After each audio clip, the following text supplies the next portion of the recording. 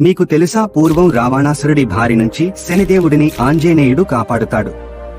అందుకు రుణపడిన శనీశ్వరుడు హనుమంతుడిని సేవించేందుకు ముందుకు వచ్చాడు. కాని ఆ సమయంలో తన భక్తులకు శని ప్రభావం లేకుండా చూడాలని శనీశ్వరుడిని అడుగుతాడు. అప్పటి నుంచి హనుమంతుడిని కొలిచేవారికి శని చెడు ప్రభావం అంటదు. అందుకే శనీశ్వరుడికి పూజించేవారు తప్పనిసరిగా హనుమంతుడును కొలుస్తారు. అంతేకాదు హనుమాన్ చాలీసా రోజూ పఠిస్తే శని చెడు ప్రభావం సోకదు.